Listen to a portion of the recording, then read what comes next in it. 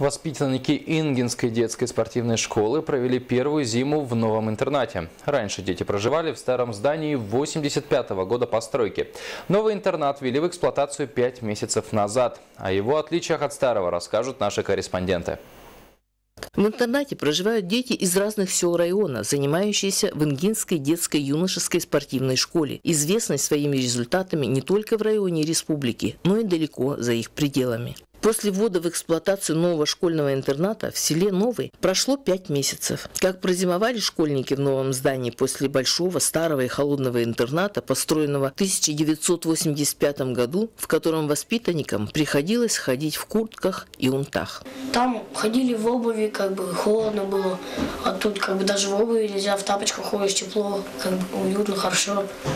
Там даже мыться нельзя было, как бы, тут моешься по каждыми днями после тренировки приходишь и моешься.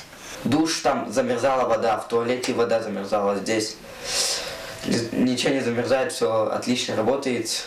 Ну только там был душ и ванная, а здесь только ванную установили потому что ну, площадь интерната сама маленькая. Новое здание интерната рассчитано на 30 детей. Там работают два дневных и два ночных воспитателя. Прачка, уборщица. Так, дети у нас в основном все с Хандыги. Также есть дети из Сосыльцев, есть дети с Тополинова. В комнатах наполняемость, ну, есть 8 человек, но так как двухъярусные кровати, поэтому э, располагается очень компактно, комфортно, но детям комфортно. С введением в эксплуатацию нового современного интерната жизнь школьников стала теплее и комфортнее, что, безусловно, повлияет на их успехи в учебе и спортивных результатах. Нина Ханарова, Сергей Москвитин, НВК «Саха», Тампонский район.